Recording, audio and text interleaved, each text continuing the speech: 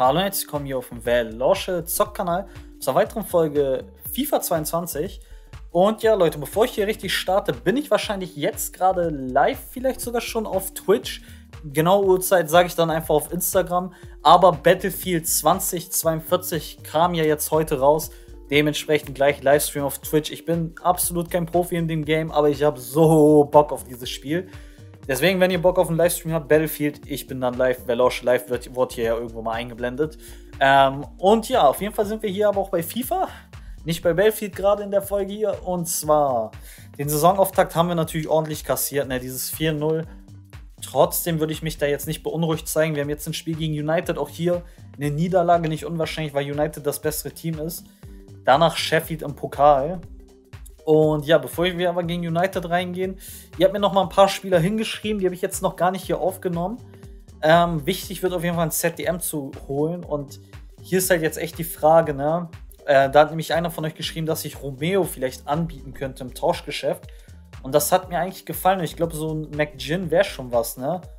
Westwood wäre eigentlich auch ganz interessant, wobei der ein bisschen älter schon ist, ne? Martic ist auch nicht mehr der allerjüngste. Äh, Berg finde ich auch noch gut, der ist aber 18,5 Millionen auch nochmal wert, ne?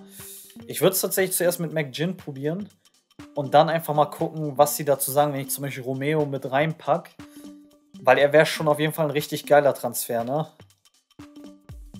12 Millionen ist er wert und sagen wir mal, wir packen nochmal 8 dazu, das wären 20 Millionen Gesamtvolumen. Boah, die wollen 22 Millionen dazu, das ist natürlich viel zu viel.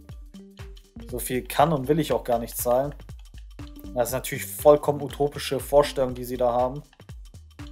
Von mir sollen sie 54 Euro dazu kriegen, aber das ist mir dann auch egal. 16,4, ja, ist immer noch zu viel, ne? Ich bleib mal bei 10. Das wären immerhin die 22 Millionen, die er wert wäre. Ich sag mal so bis 24 wäre okay, ne?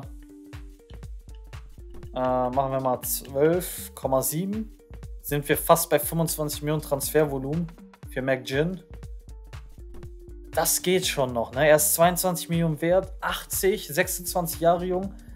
Würde 25,6 Millionen Gesamtwert sein. Das finde ich okay. Ich akzeptiere das. Dann haben wir unser ZDM-Problem gelöst. McGinn hat eine unglaubliche Ausdauer, wie ihr seht, von 90. Hat auch hier, was die Pässe angeht, richtig, richtig starke Werte. 84 langer Pass, 82 kurzer Pass. Schusskraft ordentlich. Der hat auch ein Distanzschütze, Spielmacher und lange Pässe als Spezialfähigkeiten. Das ist ein richtig guter Mann, der kann den Spielaufbau übernehmen und das wäre ein ganz wichtiger Transfer. Romeo würde ich damit auch loskriegen und ihn hier könnten wir ihn holen. Er will vier Jahre, ich gebe ihm natürlich fünf. Sehr schön. Freigabesumme, keine Ahnung, wenn er 60 akzeptieren, können wir gerne 60 machen. Sie können damit leben, okay?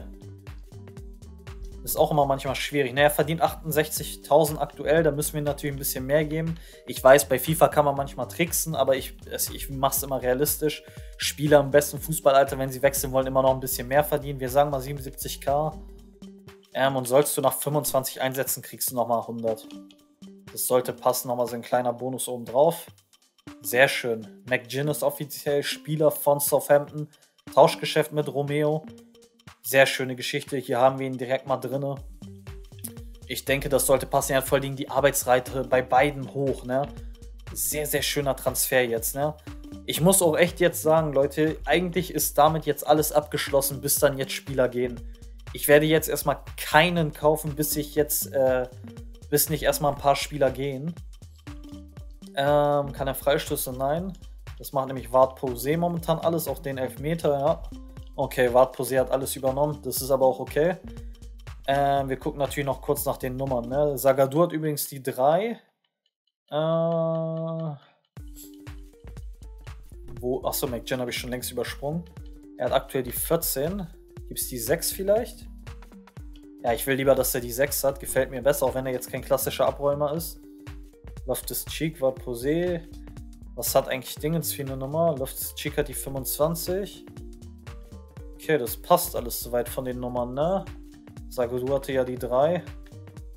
Okay, das passt soweit erstmal alles. Also wenn wir jetzt nicht irgendwelche krassen Angebote kriegen, dann steht der Kader erstmal. Jetzt gehen wir natürlich ins Duell gegen Manchester United. und schauen mal, wie das Ganze hier auf, ausgeht. Das zweite Spiel in der Premier League. Gucken wir jetzt auf die Aufstellung von Southampton mit Steve Mandanda am Tor. Peters, äh, Bedanek, Salisun, Perrault in der Verteidigung, McGinn, der Neuzugang im ZDM, Armstrong, Ward Posey, Loftus Cheek und Wilson im Vierer-Mittelfeld und Shea Adams ganz vorne. 4-1-4-1-System bei Southampton. Das gleiche System wie bei der 4-0-Niederlage gegen den FC Everton. Manchester United tritt wie folgt auf mit De Gea am Tor. Van Bissaka, Varan, Bastoni und Luke Shaw in der Verteidigung. Pogba und Fred im ZDM.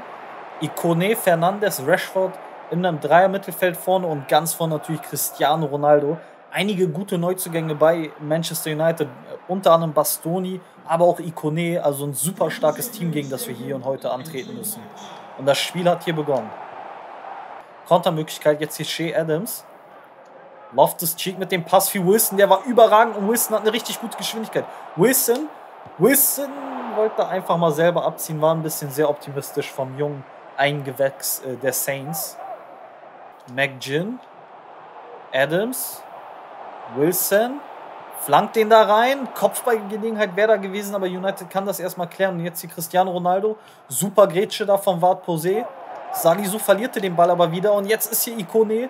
Bisschen bitter für Southampton, wie das Ganze gelaufen ist. Ikone mit viel Geschwindigkeit. Ikone zieht in den Strafraum und der Pass in die Mitte und da war Cristiano Ronaldo und das 1-0 für Manchester United. Am Ende ist es der Portugiese, der hier natürlich wieder mal trifft. C. Sein Jubel natürlich die absolute Legende. Und es steht 0-1 Man United. Der Favorit ist hier vorne. Bitter für die Saints natürlich hier wieder in Rückstand zu geraten. Das erste Spiel lief schon katastrophal. Hier und heute macht man bisher kein schlechtes Spiel, muss man betonen. Aber am Ende haben sie es gut gelöst. Hier Ikone mit viel Geschwindigkeit spielt da in den Rückraum auf Ronaldo, der da halt auch komplett frei war weil natürlich auch auf Bruno Fernandes in der Mitte auch geachtet worden ist. Man dann da kommt da nicht mehr ran. 1-0 Manchester United. Das erste Tor für Ronaldo in dieser Saison und die, äh, der FC Southampton muss jetzt hier eben schauen, wie man zurückkommt in dieses Spiel. Van Bissaka. Van Bissaka hat da ein bisschen Probleme. Das ist sehr riskant, wie es United spielt. Machen das aber dann doch ganz gut. Ne? Sie haben halt eben die Klasse, sich dazu lösen. Jetzt hier Cristiano Ronaldo mit dem langen Ball auf Ikone, den aber Perot klären konnte. Bedanek. Oh, Fehlpass von Salisu. Sowas darf dir nicht passieren gegen United. Ikone macht das stark mit seiner Geschwindigkeit. Ikone gut im 1 gegen 1. Jetzt hier Cristiano Ronaldo. Pogba wieder auf Ronaldo. Aus der Drehung macht er den rein. Was ist das für ein Weltklasse-Abschluss? Was ist das bitte für ein Weltklasse-Abschluss? Aus der Drehung macht er den da so rein. Das will ich mir nochmal angucken. Hier sehen wir spielt den Ball auf Pogba, der zurück und aus der Drehung, ah, da muss man man dann da ein bisschen kritisieren natürlich. Ne? Klar, aus der Drehung den so platziert zu schießen ist schwer. Nee, aber da muss der Keeper ran. Da muss Steve Mann dann da besser reagieren, ganz ehrlich. Auch wenn das ein Cristiano Ronaldo ist, den Schuss kannst du halten. 2-0 United, der Favorit ist hier momentan klar vorne. Und Southampton bei dem Spielplan, den sie haben, war es fast schon klar, dass der Start super schwierig wird. Und momentan sieht das eben stark nach Fehlstart aus. Und jetzt hier Van Bissaka, Cristiano Ronaldo, Fernandes auf Ikone. Fernandes, Ronaldo hat da ein bisschen Platz, der war super gespielt. Cristiano Ronaldo gegen die Latte. Also Southampton muss echt aufpassen, dass sie nicht komplett untergehen. Und Wilson mit dem Pass auf Adams, der war nicht schlecht. Adams setzt sich da jetzt durch. Adams und zieht den nicht ins Tor, weil De Gea den super gehalten hat. Aber das war mal ein guter Angriff hier von Southampton. Vielleicht kann man darauf jetzt so ein bisschen aufbauen. Jane Sancho kommt rein. Darf hier eben reinkommen. Die Ikone, die Ecke. Na, erstmal ungefällig. Salisu. Salisu kam gar nicht zum Abschluss. Ein bisschen unglücklich sah er da aus. Jetzt hier Sancho. McGinn mit einem langen hohen Ball auf Wilson. Das war super gespielt. Perau. Ah, das war nicht perfekt, aber der Ball kam an auf Loftus Cheek. Perau. Wilson zieht mal ab, aber der Herr war da. Immerhin versucht es Southampton hier und da von der Distanz. Lösen das super gut hier, Bruno Fernandes. Und jetzt hier der Pass und das ist das 3-0. Das spielt United dann einfach gut aus. Sind hier überlegen, ganz ruhig alles gespielt. Southampton hat eine bessere Phase, aber sie kommen nicht so richtig zum Abschluss. Und United ist heute auch sehr effizient, muss man sagen. Machen das ganz gut. Super zusammengespielt hier. Fernandes, Pogba. Und dann steht es auch schon 3-0. Southampton, zwei Spiele, 0 zu 7 die Bilanz. Klar gegen Everton und gegen United. Ja, das ist kein leichter Saisonauftakt, auch wenn man sich die nächsten Gegner so anguckt. Van de Beek hier nochmal auf Sancho. United sucht nochmal das 4-0. Salisu, super Tackling. Was ein Foul an Loftus Cheek, super unnötig. Und Anthony Martial kriegt die rote Karte. Das ist der pure Wahnsinn. Everton war schon zu, neun, äh, zu 10. Und jetzt auch hier United zu 10 am Ende, weil Rashford komplett unnötig reingrätscht. Und das vor allen Dingen zu einer Zeit, wo das Spiel schon längst entschieden ist. Jetzt hier Better Und das Spiel ist rum nach drei Minuten Nachspielzeit. Das erste Mal in FIFA, dass ich drei Minuten gesehen habe. Ja, Leute, 0-3. 0-3 ist hart. Aber wir waren nicht so schlecht. Wir waren nicht so schlecht spielerisch. Ihr seht ja auch, United halt todeseffizient, ne? Wir hatten nicht so viel weniger Ballbesitz, hatten elf Schüsse. Wir haben versucht, versucht, versucht. Wir, wir haben einfach auch gegen überlegene Teams gespielt, muss man klar sagen. Southampton ist irgendwo untere Tabellenhälfte anzusiedeln. Und dann spielst du halt gegen Everton und United, die beides halt super starke Teams sind, ne? Es ist bitter, aber da kann man halt wenig machen, ne? Spieler-Chat auf jeden Fall kurz mal gehen. So. Dann gehen wir auf jeden Fall ins nächste gegen Sheffield. Es ist der Carabao Cup. Hier wird natürlich ein bisschen rotiert und ich würde aber auch sagen, wir gehen hier direkt rein ins Game. Gucken wir uns die Aufstellung von Southampton an. Foster im Tor, Walker, Peters, Bednarek, Zagadou, Björkan, Noble, Walcott, Wartposis, Melbourne, Redmond und Adams. Das Ganze in einem 4-1-4-1-System, also ordentlich hier an Rotation natürlich im Carabao Cup. Ihr seht es ja selber, Zagadou heute mit seinem Debüt. Noble darf auch von Anfang an heute das erste Mal ran, genauso wie Björkan. Wir gucken gleich mal auf die Ausstellung von Sheffield United vom Zweitligisten. Unter anderem natürlich mit Berg, ein richtig guter Spieler. Und zwar mit Eastwood im Tor, dann Bogle, Egan Davis, Norrington Davis, Horane, Berg, Gibbs White, Osborne, Burke und Musset ganz vorne. Das Ganze dann hier in einem 4-2-3-1-System. Gerade äh, Berg und auch Egan, zwei sehr, sehr interessante Spieler, die Sheffield United dort hat. Und jetzt hier Huyane. Sheffield United hier über die Mitte, suchen hier eine gute Anspielstation. Oder will das allein machen? Nee. Berg. Osborne über die Seite, da ist Walker Peters im Zweikampf, der da nicht richtig rankam. Jetzt aber mit einer guten Grätsche, trotzdem hatten sie Glück, dass der Ball bei ihnen bleibt und Berg hier mit dem Abschluss. Also der Zweitligist macht Druck. Jetzt hier Musset. Osborne, jetzt hat hier Musset die Schusschance und der war super abgeschlossen. Was ist das für ein super Abschluss hier von Sheffield United und Southampton? Auch hier wieder 0-1 hinten, kurz vor Ende der ersten Halbzeit. Es läuft alles andere als gut, Leute. Das war ein super Abschluss. Aber was ist das für ein Abschluss, bitte? Wir sehen das Ganze nochmal. In die Mitte. Ja, und der war unhaltbar für Foster. Der war perfekt ins rechte Eck. Unhaltbar für Foster. Mit dem Außenriss hat er den getroffen. Foster kann sich da lang machen, wie er will. Den Ball hältst du nicht. Musset hier mit seinem Treffer. Und Southampton muss hier den nächsten Rückstand hinterher rein. Gleich hier in der zweiten Halbzeit. Theo Welkett. Jetzt jemand der hohe Ball auf Che Adams, aber sie nutzen das nicht so wirklich. Ne? Er läuft immer wieder in der Spitze durch, aber sie nutzen es nicht gut, weil die Pässe nicht wirklich ankommen. Osborne mit zu viel Platz. Flankenmöglichkeit macht er nicht. Erstmal nach hinten gelupft etwas kompliziert gespielt, wie ich finde, aber super im 1 gegen 1 gerade gewesen. Und der Pass, das war aber abseits. Das war, wollte gerade sagen. Wart Posé. Adams. Oh, gut gespielt, Wellkit. Und der Ball ist ein bisschen zu weit. Das ist die ganze Zeit das Problem von Southampton, dass sie einfach die, diesen letzten Pass nicht hinkriegen.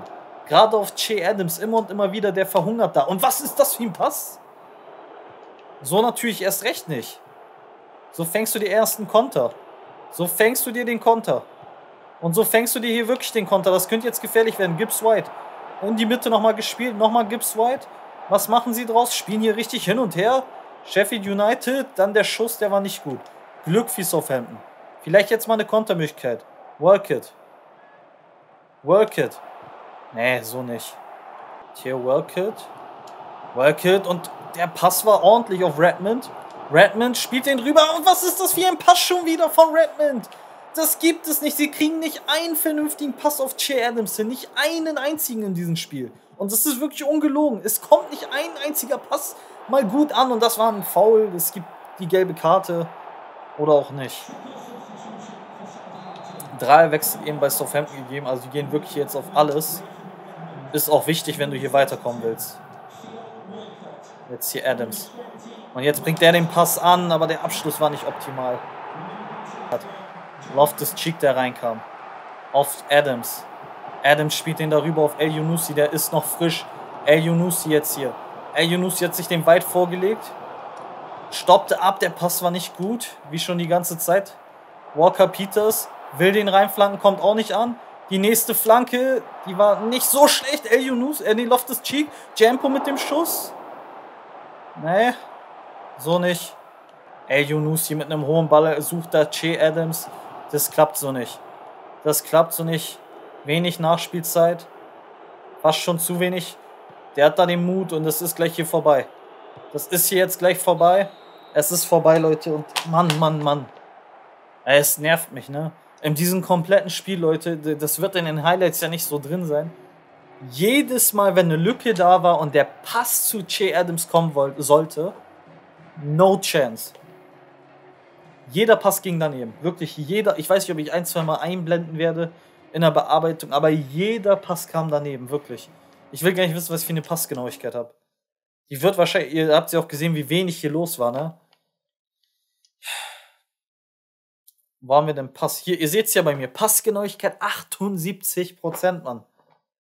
Es ist nur der Pokal, es ist natürlich bitter, hier rauszufliegen. Das ist nicht ganz so schlimm alles, ne? Aber trotz allem. Du willst ja nicht gegen den Zweitligisten rausfliegen, weil einfach kein Pass ankommt. Also Saisonstart schon mal richtig weggehauen, ne? Genk ist am Foster interessiert. Lehne ich erstmal ab. Lehne ich erstmal so ab.